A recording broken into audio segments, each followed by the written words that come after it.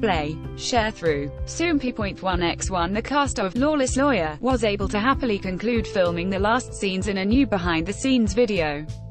See also, cast of Lawless Lawyer shares their thoughts as drama comes to an end. The video begins with a showdown between Lee Joon-gi and Seo Ye-ji against Lee Hye-young in the courtroom.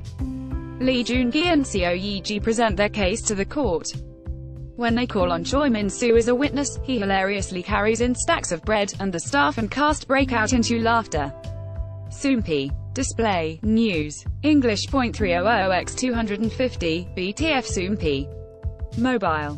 English .300x250, ATF Things get serious again. The Seo Ye-ji dramatically accuses Lee Hye-young of kidnapping her mother while the court is in session.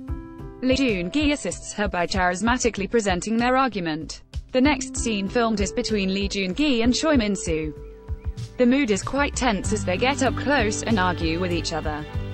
However, when the scene ends, they amicably hug and thank each other for their hard work. The last part of the making video is after the cast finishes filming the last scene.